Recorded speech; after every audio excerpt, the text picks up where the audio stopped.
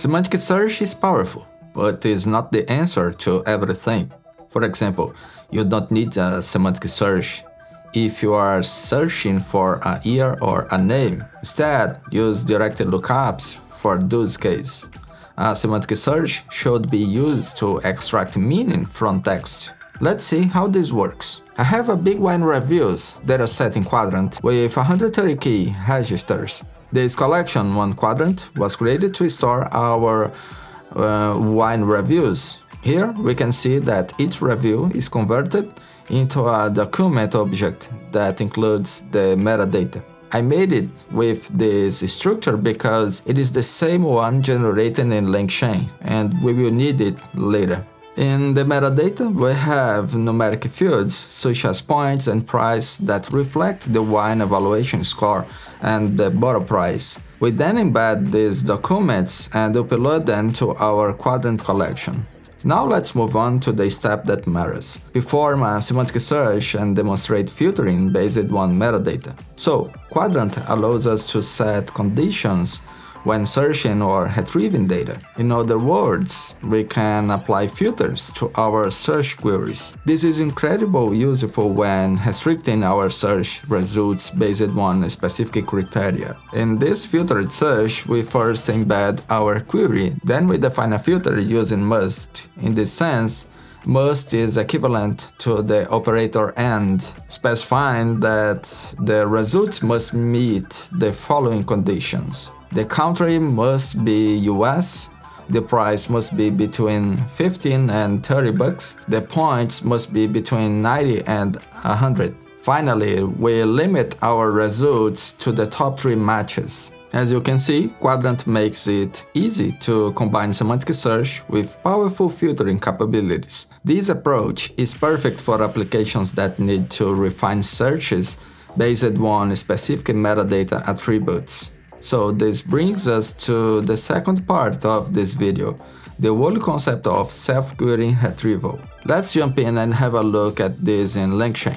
A self-querying retriever is capable of querying itself. When given a natural language query, the retriever uses a query constructing LLM chain to create a structured query and then applies that structured query to its underlying vector store. This enables the retriever to not only compare the user input query for semantic similarity with the contents of the stored documents, but also to extract filters from the user query on the metadata of stored documents and execute those filters. So we are going to be using the self-query retriever here.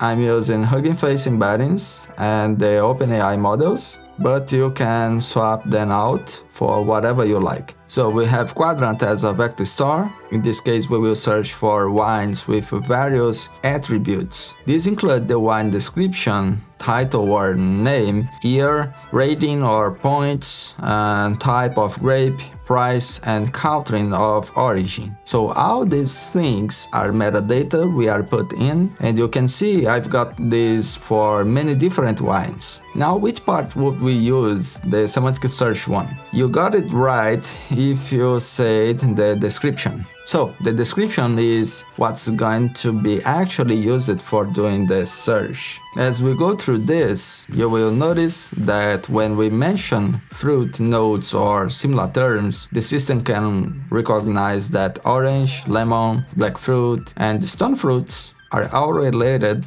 to fruit and citrus flavors. However, when we refer to price, we don't want a general semantic search. Instead, we want the system to use a specific price and filter. Alright, so next up, we need to create our self-query retriever here. So this is something that's built into LangChain. The most important thing we must do is provide the metadata information. In this case, metadata field info. Each piece of information here corresponds to a type of metadata. We have the country of the wine, which is represented as strings or can be a list of strings.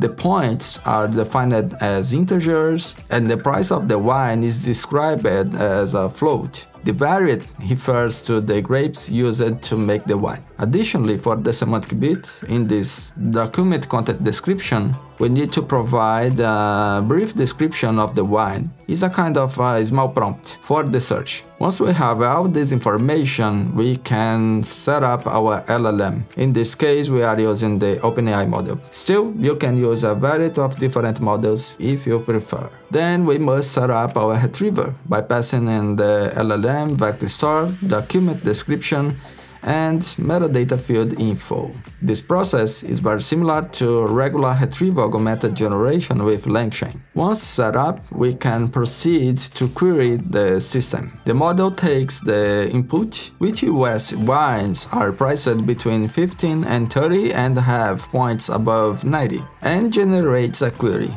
In this case, the query involves a comparison to filter the database at one price and points attributes within the range of 15 to 30 and above 90, respectively. Let's check the results we can see that we have received some nice information about the Doubles family Pinot Noir. The price is 28 and it has received 91 points among other details. We have uh, three different options. Now if we want to conduct a semantic search for a wine with fruity nodes, we can input our criteria and see the results. Okay, with tracing mode 1, we can see step by step the creation of the filter as well as the semantic search. So here we can see the queries and the filters construction, the AND clause, followed by an EQ or equality. Then we have the country key with the value US, then GTE, which means greater than or equal,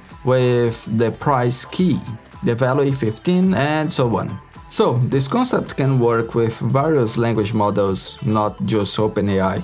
You can use Llama 3, Mistral, or Gemini Pro as well you will need to make sure that you are getting a language model that can take these kinds of queries and process them for this. This method allows for more than just semantic search. If you have questions, feel free to ask in the comments. If you find this video helpful, please hit a like and subscribe. And thank you so much for watching and I will see you in the next one.